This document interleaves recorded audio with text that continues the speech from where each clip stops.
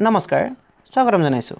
অসমৰ জলসিঞ্চন বিভাগৰ জুনিয়ৰ এছিষ্টেণ্টৰ এক্সামত কি কি বিষয়ত কিমান নম্বৰ আহিব এই সম্পৰ্কে আজি আমি ভিডিঅ'ত আলোচনা কৰিব লৈছোঁ। যদিহে আপোনালোকে জুনিয়ৰ এছিষ্টেণ্টৰ এক্সামৰ কাৰণে এপ্লাই কৰিছিল তেতিয়াহ'লে এই ভিডিঅ'টো শেষলৈকে ভালদৰে চাব। নমস্কাৰ বন্ধুসকল মোৰ নাম আছে শ্ৰী অংকুৰ শৰ্মা আৰু আপোনালোকে চাই আছে আপোনালোকৰ আপোন চেনেল জব মেল আছাম য'ত অসম তথা কেন্দ্ৰীয় চৰকাৰৰ বিভিন্ন চাকৰিৰ লগতে চাকৰি সম্পৰ্কে বিভিন্ন তথ্য পাতি আৰু প্ৰয়োজনীয় প্ৰশ্ন কাকতসমূহ আলোচনা কৰা হয়। যদি আপোনালোকে পোনপ্ৰথমবাৰৰ বাবে আমাৰ চেনেলটো ভিজিট কৰিছে অনুগ্ৰহ কৰি আমাৰ চেনেলটো ছাবস্ক্ৰাইব কৰিব আৰু কাষৰ বেল বাটনটো প্ৰেছ কৰি অল কৰি ৰাখিব যাতে আমি আপলোড কৰা প্ৰতিটো ভিডিঅ'ৰ ন'টিফিকেশ্যন আপোনালোকে লাভ কৰিব পাৰে। ব'লক এতিয়া ভিডিঅ'টো আৰম্ভ কৰোঁ। ভিডিঅ'টো আৰম্ভ কৰাৰ পূৰ্বে আপোনালোকক এটা এপছৰ বিষয়ে ক'ব বিচাৰিছোঁ। যিটো এপছৰ পৰা আপোনালোকে এজনক ৰেফাৰ কৰি লাভ কৰিব পাৰে তিনিশ টকা। এই এপছটো হৈছে হেল্ল' এইচ চি এল আৰু এই এপছটোৰ আপোনালোকে ডাউনলোড কৰি তিনিশ টকা লাভ কৰিব পাৰে। এই এপছটো ডাউনলোড কৰিবলৈ এই ভিডিঅ'ৰ ডেছক্ৰিপশ্যন বক্সত এটা লিংক আছে। লিংকত গৈ আপোনালোকে ডাউনলোড কৰিব পাৰে আৰু ডাউনলোড কৰাৰ পাছত এটা আপোনালোকক পেজ আহিব ইনষ্টল বুলি কৰিবলৈ। তাত এটা ৰেফাৰ কোড থাকিব। অনুগ্ৰহ কৰি ৰেফাৰ কোডটো কপি কৰি দিয়ক। কপি কৰি ইনষ্টল কৰক। যেতিয়া ইনষ্টল হোৱাৰ লগে লগে আপোনালোকে কিবা এটা পইচা লাভ কৰে মোৰ ৰেফাৰ কোডটো দিয়াৰ কাৰণে। আৰু আপোনালোক ডাউনলোড হোৱাৰ পিছত আপোনালোকক পেজটো এইদৰে দেখাব।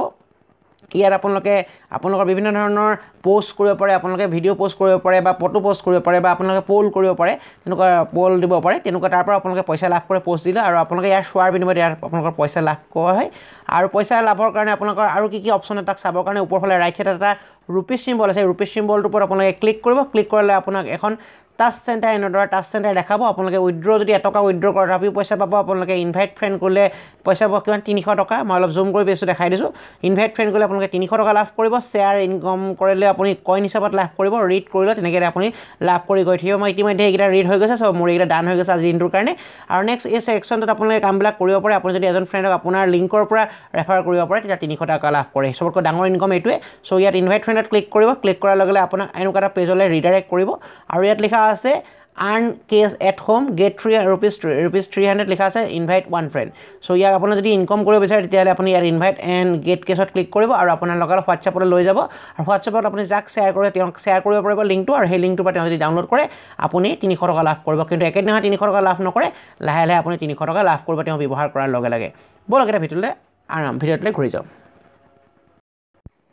ইতিমধ্যে আমাৰ ছেকশ্যন এছিষ্টেণ্টৰ পৰীক্ষাসমূহ হৈ গৈছে আৰু এতিয়া আমি জুনিয়ৰ এছিষ্টেণ্টৰ কাৰণে আপোনালোকৰ বহুতো কেণ্ডিডেটে এপ্লাই কৰিছে যিয়ে ছেকশ্যন এছিষ্টেণ্টৰ পৰীক্ষা দিছে আৰু পৰীক্ষা দিয়াৰ বহুতো কেণ্ডিডেটে জুনিয়ৰ এছিষ্টেণ্টৰ এপ্লাই কৰিছে আৰু কেৱল কিছুমানেও অকল জুনিয়ৰ এছিষ্টেণ্টৰ পদৰ বাবে বহি আছিল। পদৰ সংখ্যা যথেষ্ট জুনিয়ৰ ছেকশ্যন এছিষ্টেণ্টৰ কম যদিও ইয়াৰ পৰীক্ষাটো অত্যন্ত টাফ হ'ব কিয়নো ইয়াত টোটেল টোটেল টু ফিফটি মাৰ্কৰ এক্সাম হ'ব আৰু সময় থাকিব কেৱল ডেৰশ মিনিট। সেই হেতুকে আপোনালোকে চাই লওক ইয়াত এক্সামৰ বাবে আপোনালোকে কি কি পঢ়িব লাগিব আৰু যদি সম্পূৰ্ণ ডিটেইলছ চিলেবাছখন নাজানে আৰু কোনটো ছাবজেক্টত কিমান নম্বৰ আহিব সেই বিষয়ে আজি আমি ভিডিঅ'ত বিশদভাৱে আলোচনা কৰিম। ব'লক প্ৰথম চাই লওঁ কি ছাবজেক্ট আহিব আৰু কিমান কিমান মাৰ্কৰ আহিব। প্ৰথম ছাবজেক্টটো হৈছে জেনেৰেল ইংলিছ জেনেৰেল ইংলিছত থাকিব পঁসত্তৰটা কুৱেশ্যন আৰু ইয়াত পঁসত্তৰ নম্বৰ আহিব। ইয়াতো অপশ্যনেল কুৱেশ্যন হ'ব O' M R best examination হ'ব ইয়াত কিন্তু এটা কথা বৰ আপোনালোকৰ কাৰণে নিগেটিভ পইণ্ট আঢ়ৈশ টু ফিফটি মাৰ্কৰ কাৰণে অকল কেৱল ওৱান ফিফটি মিনিট থাকিব চ' এশটা কুৱেশ্যন আমাৰ এক্সট্ৰা থাকিব যাৰ ফলত আমি ছেকশ্যন এছেকশ্যনে ইতিমধ্যে পাই গৈছোঁ আমাৰ সময় যোৰা নাই বহুতৰে কমপ্লেইন ইয়াত আৰু আপোনালোকৰ প্ৰব্লেম হ'ব কিয়নো পঁসত্তৰ মাৰ্ক ইংলিছ থাকিব সেই দুশ মাৰ্ক আঢ়ৈশ মাৰ্কৰ ভিতৰত। ছেকেণ্ড পইণ্ট হৈছে আৰু ইয়াত বিশদভাৱে ডিটেইলছ চিলেবাছখন আমি ইতিমধ্যে দি ৰাখিছোঁ আপোনালোকে চাব পাৰে যদিহে চোৱা নাই। ইয়াৰ আই বৰ্তমান মই জুনিয়ৰ এছিষ্টেণ্টৰ ডিটেইলছ চিলেবাছখন দি দিম। এতিয়া মই খালি কোনটো ছাবজেক্টত কিমান নম্বৰ আহিব মই সেইটোহে আলোচনা কৰি দিছোঁ। নেক্সট হৈছে ছেকেণ্ড ছাবজেক্টটো হৈছে general knowledge and and intelligent with special reference of Assam so' আমাৰ জেনেৰেল নলেজ আহিব আৰু অসমৰ ওপৰত ভিত্তি কৰি আহিব বুলি কুৱেশ্যনসমূহ কৰা হৈছে আৰু ইয়াত পঞ্চাছ নম্বৰ আহিব। এনেদৰে আমাৰ ছেলেকশ্যন এছিষ্টেণ্টৰ ক্ষেত্ৰতো আছিল কিন্তু অসমৰ ক্ষেত্ৰত আমি দেখা পালোঁ প্ৰত্যেকটো শ্বিফ্টতে অসমৰ ওপৰত খুব কুৱেশ্যন নাই বা এটা বা দুটা আহিছে খুব বিশেষ নাই। কিন্তু জুনিয়ৰ ছেশ্যনত আপোনালোকে আশা কৰিব পাৰে চিলেবাছখন ফ'ল' হ'ব বুলি। চ' আপোনালোকে বাহিৰৰ লগতে আমাৰ অসমৰ জিকেবিলাকো চাবলৈ নাপাহৰিব আৰু বাহিৰৰ জিকেসমূহ চাব। খুব বিশেষ জিকে অহা নাছিল ছেকশ্যন এছিষ্টেণ্ট কিন্তু জুনিয়ৰ ছেশ্যন পঞ্চাছ নম্বৰ জিকে আহিব বুলি কৈছে। ইয়াত এবাৰ বিছ নম্বৰ আছিল বিছ নম্বৰ জেগাত আমাৰ তিনি নম্বৰ কমাই আহিছিল প্ৰত্যেকটো শ্বিফ্টতে সোতৰ নম্বৰৰ জিকে আহিছিল ছেকশ্যন এছিষ্টেণ্টত জুনিয়ৰ ছেশ্যনত পঞ্চাছ নম্বৰৰ জিকে আহিব বুলি কোৱা হৈছে। নেক্সট হৈছে logical reasoning and quantity approach তাত আহিব পঁচিছ নম্বৰ আপোনালোকৰ কাৰণে এটা ভাল খবৰ বুলি ক'ব পাৰি এবাৰ কেৱল পঁচিছ নম্বৰ আহিব ৰিজনিং এণ্ড মেথামেটিক্সত কুৱাণ্টিটিভত কেৱল পঁচিছ নম্বৰ আহিব যিটোৱে আমাক ছেকশ্যন এছেকশ্যন বৰ হাৰাশাস্তি কৰিছিল কাৰণ পঞ্চাছ নম্বৰতকৈ ওপৰ আছিল পঞ্চাছ নম্বৰ আহিব বুলি কোৱা হৈছিল কিন্তু পঞ্চাছ নম্বৰতকৈ ওপৰ আছিল যাৰ ফলত আমাৰ সময় মিলাব পৰা নাছিলোঁ। কিন্তু এইবাৰ মাত্ৰ কেৱল পঁচিছ নম্বৰে আহিব এই দুইটা টপিক মিলাই। নেক্সট টপিকটো হৈছে নলেজ অফ কম্পিউটাৰ থিয়ৰী এতিয়া আপোনালোকৰ কম্পিউটাৰ নলেজৰ ওপৰত ইয়াত কুৱেশ্যন দিব। আপোনালোকে সেই হেতুকে কম্পিউটাৰ নলেজৰ ওপৰত পঢ়িব লাগিব। কম্পিউটাৰ নলেজৰ বিষয়ে পঢ়িব লাগিব। ইয়াত কম্পিউটাৰ নলেজৰ পঞ্চাছ নম্বৰৰ থিয়ৰী পেপাৰ এখন দিয়া হ'ব।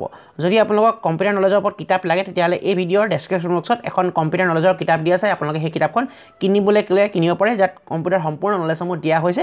চ' আপোনালোকে তাৰপৰা কিনিবলৈ ক'লে কিনিব পাৰিব।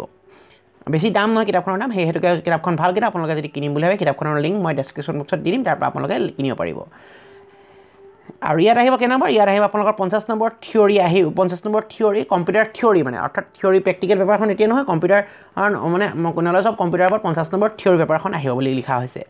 নেক্সট হৈছে language skill in Assamese Bengali Bodo and alternative English আপোনালোকৰ লেংগুৱেজ টেষ্ট কৰা হ'ব অসমীয়া বেংগলী বড়ো আৰু অল্টাৰনেটিভ ইংলিছত। অৰ্থাৎ যিসমূহ কেণ্ডিডেটৰ আপোনালোকে চিলেকশ্যন কৰিব আপুনি অসমীয়াত কৰিবনে বেংগলীত কৰিবনে বড়োত কৰিবনে অল্টাৰনেটিভ ইংলিছত আপুনি পেপাৰখন কৰিব সেই কথা অ' এম আৰ চিত আপুনি মেনশ্যন কৰিব লাগিব আৰু তাত পঞ্চাছ নম্বৰ পৰীক্ষা হ'ব।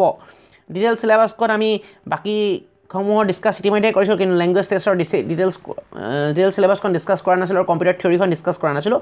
এইখন আমি পৰৱৰ্তী ভিডিঅ'ত আলোচনা কৰিম। অসমীয়া লেংগুৱেজৰ ওপৰত বা কেনেকুৱা ধৰণৰ কুৱেশ্যন আহিব পাৰে বা কি কি বিষয় সাঙুৰ খাই থাকিব সেই বিষয়ে আমি বিষয়ভাৱে ডিটেইলছত আলোচনা কৰিম। কাৰণ ইয়াত পঞ্চাছ নম্বৰ পেপাৰ এখন অসমীয়া বুলি ক'ব গ'লে বহুত উজি হয় কিন্তু বহুত হাৰ্ড পেপাৰ কাৰণ অসমীয়াৰ ভিতৰত বহুখিনি বস্তু সোমাই থাকে। চ' গোটেই বস্তুখিনি আমি ডিছকাছ কৰিম কি ভিডিঅ' পৰৱৰ্তী ভিডিঅ'ত কি কি ওপৰত টপিকৰ ওপৰত আহে। এইদৰে আপোনালোকৰ পাঁচটা টপিক সন্নিৱিষ্ট হৈ থাকিব। এটা টপিক হৈছে language skill language skill in Assamese Bodo Bengali and alternative English পঞ্চাছ number. Knowledge of computer theory পঞ্চাছ number. Logical reasoning and quantitative approach পঁচিছ নম্বৰ জেনেৰেল নলেজ আহিব আপোনাৰ পঞ্চাছ নম্বৰ আৰু ইংলিছ আহিব পঁসত্তৰ নম্বৰ অৰ্থাৎ ইয়াত চবতকৈ হাইষ্ট নম্বৰ আপোনালোকৰ দিয়া আছে জেনেৰেল ইংলিছত ছেভেণ্টি ফাইভ নম্বৰৰ চ' আপোনালোকে চাওক কিন্তু জেনেৰেল নলেজটো আমাৰ আমি যিমান দূৰ ভাবিছোঁ ছেকশ্যন এছিষ্টেণ্টৰ ইজি নহ'ব। ইয়াৰ লেভেলটো বহুত হাৰ্ড হ'ব কাৰণ এইটো ডিগ্ৰী লেভেলৰ এটা এক্সাম চ' অত্যন্ত হাৰ্ড হ'ব বুলি আমি ক'ব পাৰোঁ। সেই হেতুকে আমি আগন্তুক দিনত ইংলিছৰ ওপৰত আপোনালোকক কুৱেশ্যনসমূহ দিম বা বাকী ছেকশ্যনৰ ওপৰতো আমি কুৱেশ্যনসমূহ আৰম্ভ কৰিম বুলি ভাবিছোঁ। যদিহে আপোনালোকক ইয়াৰ ওপৰত ভিডিঅ'সমূহ লাগে তেতিয়াহ'লে অনুগ্ৰহ কৰি কমেণ্ট বক্সত কমেণ্ট কৰিবলৈ নাপাহৰিব। আৰু আপোনালোকৰ প্ৰিপেৰেশ্যনসমূহ কৰক কাৰণ পৰীক্ষাসমূহ অতি সোনকালে মাৰ্চৰ লাহৰ লাহৰ লাষ্টত পাতিব পাৰে। কাৰণ ফেব্ৰুৱাৰী বাৰ দহ বাৰ তাৰিখৰ পৰা যিহেতু মেট্ৰিক আৰু হায়াৰ ছেকেণ্ডেৰী পৰীক্ষাসমূহ অনুষ্ঠিত হ'ব তাৰ মাজত পৰীক্ষা পতাৰ আশা খুব কম। নাই বুলি নকওঁ কাৰণ পৰীক্ষা এইবাৰ ছেকশ্যন ছেশ্যন পটককৈ পাতি দিলে ছজনীয় ছেশ্যন পৰীক্ষা পতাৰ চান্স আছে। নহ'লে মাৰ্চৰ লাষ্টত ইয়াৰ পৰীক্ষাসমূহ নিশ্চয় হ'ব অনুষ্ঠিত হ'ব বুলি আমি ক'ব পাৰোঁ কাৰণ পৰীক্ষাসমূহ কাৰণে ইতিমধ্যে ছেকশ্যন এছিষ্টেণ্ট পৰীক্ষা পাতিলে যে জুনিয়ৰ ছেশ্যন পৰীক্ষা পৰীক্ষাটো বৰ টান কাম নহ'ব বিভাগৰ কাৰণে বা যিটো কোম্পানীক ঠিকা দিয়া হৈছে সেইটো কোম্পানীৰ কাৰণে। ইয়াকে ভিডিঅ'টো সমাপ্ত কৰিছোঁ যদি ভিডিঅ'টো চাই ভাল পায় নিশ্চয় ভিডিঅ'টো লাইক কৰক আৰু আপোনালোকৰ বন্ধু বান্ধৱী আৰু সা সম্বন্ধীয় মানুহৰ ভিডিঅ'টো শ্বেয়াৰ কৰক যাতে তেওঁলোকে এই ভিডিঅ'ৰ পৰা উপকৃত হ'ব পাৰে। আৰু এতিয়ালৈকে যদি আমাৰ ভিডিঅ'টো চাই আছে আৰু এই চেনেলটো এতিয়াও আপোনালোকে ছাবস্ক্ৰাইব কৰে অনুগ্ৰহ কৰি আমাৰ চেনেলটো ছাবস্ক্ৰাইব কৰি ল'ব। ইয়াকে কৈ ভিডিঅ'টো সমাপ্ত কৰিছোঁ। ধন্যবাদ জয় অসম।